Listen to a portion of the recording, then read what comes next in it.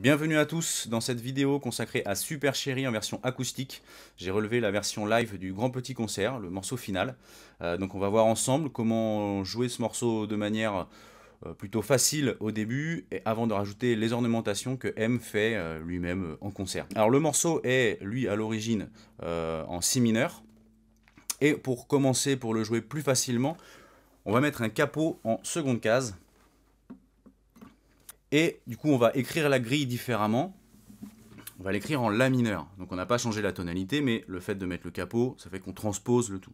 Donc, du coup, notre premier accord, on va l'écrire La mineur parce que c'est une forme de La mineur, mais on joue bien un Si mineur, naturellement. Donc les accords, il n'y en a pas énormément, surtout avec le capot, ils sont faciles à jouer. On va voir La mineur, qu'on va faire du coup deux fois, Mi mineur deux fois, Ensuite, on va voir le Ré, le Do, puis le Sol. Ok La mineur, Mi mineur, Ré, Do et Sol. Toujours important de bien s'écrire les grilles telles que je vous le marque là, quand on relève un morceau, parce que ça nous donne l'ordre des accords, évidemment, et aussi leur durée. Il ne faut pas s'écrire les, accords euh, les uns à la suite des autres, comme ça. Voilà, donc on essaie de faire une suite euh, euh, un peu facilement lisible. Donc là, j'ai fait deux lignes de 4 ou une ligne de 8, euh, comme vous voulez, mais en respectant bien les mesures. Donc, on va en fait faire là 4 temps par mesure. Ok, on va compter 1, 2, 3, 4. Et la petite, euh, euh, astuce pour, ce morceau, c'est qu'on va à chaque fois changer d'accord sur ce qu'on appelle le et du 4. Donc je vous mets là sur le, petit dessin. On va compter 1, 2, 3, 4 et, et c'est là-dessus qu'on change. Ok, donc ça va être entre le 4 et le 1 suivant qu'on va changer. Donc si je fais la première ligne, je vais pouvoir faire 1, 2, 3, 4, facile, là il n'y a pas de changement. À nouveau 1, 2, 3, 4 et... Ok, et là je vais changer mon accord, donc je vais l'anticiper sur le et du 4. 1, 2, 3, 4, 1, 2, 3, 4 et 1, 2, 3, 4, 1, 2, 3, 4 et 1, 2, 3, 4 et 1, 2, 3, 4 et 1, 2, 3, 4, 1, 2, 3, 4 et 1, 2, 3. Ok Si je le fais avec le métronome, là le métronome est réglé à 100 et ça va me faire ça. 1, 2, 3, 4, 1, 2, 3, 4,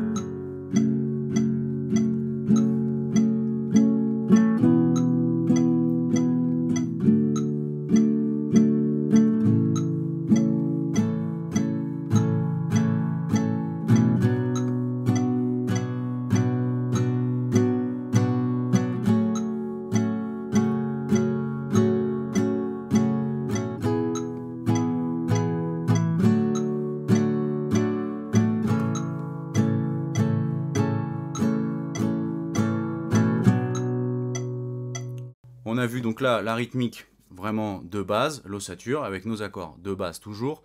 On va se faire une rythmique euh, un petit peu plus punchy au doigt, qui se rapproche vraiment de celle que lui il fait. Un enchaînement euh, euh, pas, évident à se mettre dans les doigts. Une fois qu'on l'a, c'est très très cool à jouer. Donc, au début, je vous ai marqué pouce et doigt au pluriel, ok Donc je vais me servir de la du pouce, je vais me servir du pouce sur ma basse, sur mon la mineur, ça va être ma corde de la. Après mes doigts, je vais me servir de index majeur annulaire sur les trois cordes du dessous. Vous pouvez faire aussi sur les trois plus petites, comme vous voulez, c'est euh, à vous de voir. Donc au début, on va gratter tout ça en même temps. Je vous ai mis les trois petits points, donc on attend un peu. Le X, c'est on va venir taper en fait avec, euh, avec la main. Vous n'avez pas besoin de, mettre un coup de poing dans la guitare, mais c'est mes doigts qui vont venir se remettre en place. Et à ce moment-là, j'ai un peu tous les doigts qui tapent, pas sur la caisse, pas comme au flamenco, mais juste sur les cordes, et ça fait que, voilà, on a ce, on a ce son là. Ok, donc ça va faire pouce doigt en même temps, j'attends, je, tape avec ma main, pouce doigt, ok, et ça, ça vient me faire une case.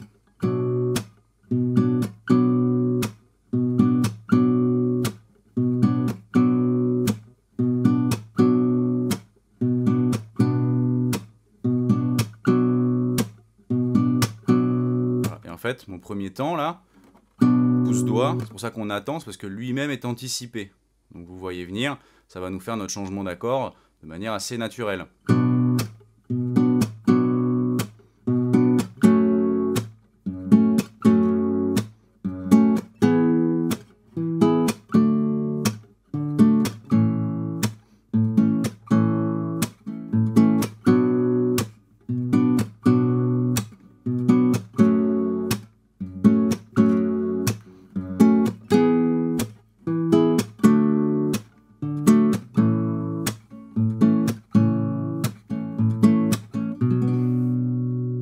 Ça tout le long du morceau.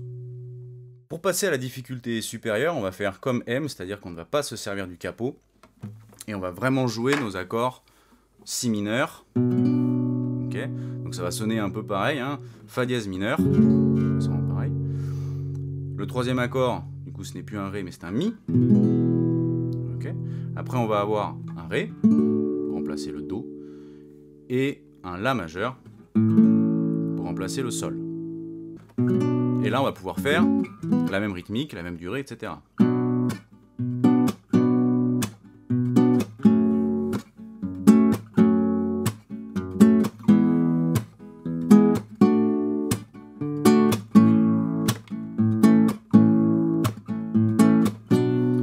Donc je fais bien attention. Mes doigts, eux, restent euh, globalement toujours sur ces cordes-là, sauf sur le Ré, parce qu'on a un accord, du coup, les quatre petites. Donc mon pouce va venir jouer la basse sur la corde de Ré, et mes trois doigts, je les mets sur les trois petites. J'essaie de ne pas faire trop sonner la, la chanterelle, la, corde de Mi aiguë, pour pas qu'elle me bouffe tout le spectre sonore. Donc je fais attention à chaque fois avec mon pouce de jouer la basse qui correspond à la fondamentale de mon accord. Sur le Si, c'est la corde de La. Sur le Fa dièse mineur, je viens jouer la grosse corde. Sur le Mi, la grosse corde aussi. Sur le Ré, c'est là que je change un peu tout. Et sur le La, je reviens au milieu. Voilà. Moi, le La, je le fais en petit barré comme ça. J'aime pas cette position-là. par contre, je fais attention de pas jouer la petite corde.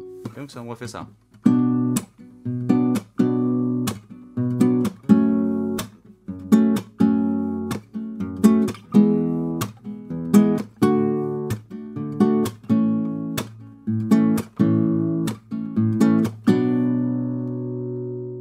Et pour finir, on va voir les petites ornementations que M rajoute et qui donnent un peu toute la saveur au morceau. ça va en fait transformer euh, nos accords euh, euh, plutôt basiques, notre suite d'accords relativement classique, en un riff reconnaissable et du coup qui est beaucoup moins facile à jouer. Donc, au début sur notre Si mineur, on va, avant de passer sur le Fa dièse mineur, faire un petit hammer avant de relâcher notre petit doigt on va transformer grosso modo le Si mineur en Si mineur 7. Ça c'est un Si mineur, ça c'est un Si mineur 7. Donc je vais faire, avant de passer sur le Fa dièse mineur, ok. Donc je gratte mon Si mineur 7, je viens taper mon petit doigt, avant de rejouer mon Si mineur 7 sans le petit doigt. Je vais anticiper mon Fa dièse mineur, et là je vais jouer une carte avec mon petit doigt, donc du coup je vais enlever mon petit doigt, pour venir le mettre juste en dessous. Donc là, ça me transforme mon Fa dièse mineur en Fa dièse mineur avec une septième et une quarte.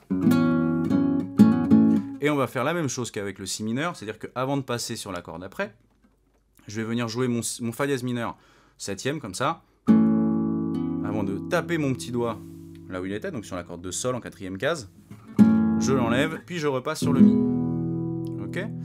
Donc là, rien que les deux premières, euh, la première ligne, les quatre premières cases, Déjà, ça agrémente un peu le truc.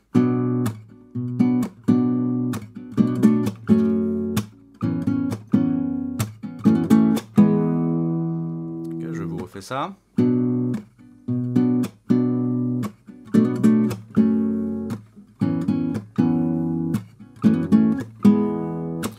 le Mi, on fait rien. Sur le Ré non plus. Et sur le La, on va faire un petit riff très sympa. Deux petits riffs en fait. Donc là, c'est important d'avoir le La en barré, parce qu'on va faire voilà, un double hammer. On va transformer un peu notre, notre La euh, en Si mineur, grosso modo. Donc je vais bien garder cette position-là. Et je vais venir faire un hammer avec mon majeur et mon annulaire. Ok, sur la deuxième case et la quatrième case. Et rien sur la corde de Sol. Ok. Donc ça, c'est pour le début du La. Et à la toute fin, avant de repasser au début du morceau sur le si mineur, je vais faire ce riff là. Donc je vais venir glisser jusqu'en 5, jouer mon 3, mon 2, et c'est là que j'arrive sur mon si mineur. C'est qu'on entend ça. Donc je vous refais l'enchaînement au complet, doucement.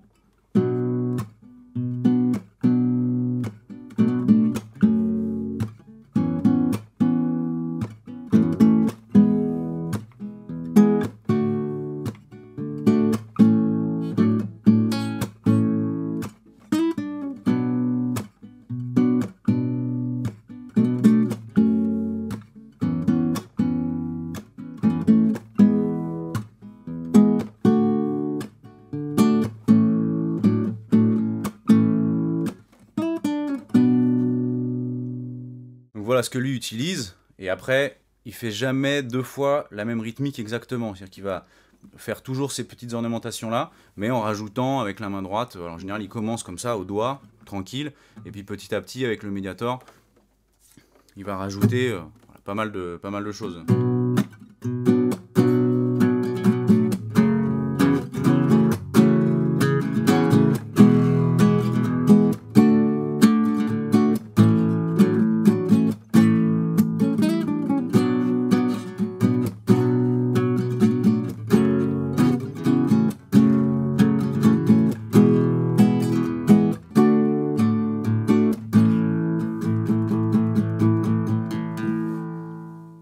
Dans une autre vidéo comment il joue ce morceau avec la guitare électrique, avec la vraie rythmique funky euh, du, morceau original.